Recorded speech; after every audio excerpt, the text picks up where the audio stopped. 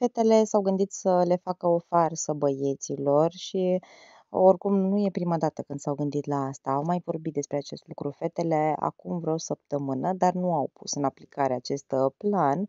În schimb, în seara aceasta s-au machiat toate, s-au îmbrăcat în alb și au năvălit în casa băieților. Era, cred, mai interesant dacă băieții erau deja în pat, la somn.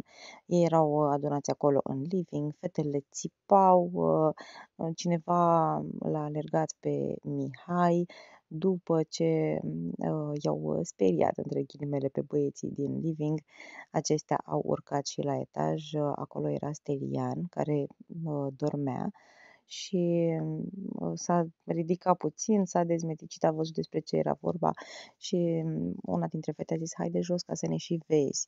Și el a zis că sunt frumoase așa cum sunt.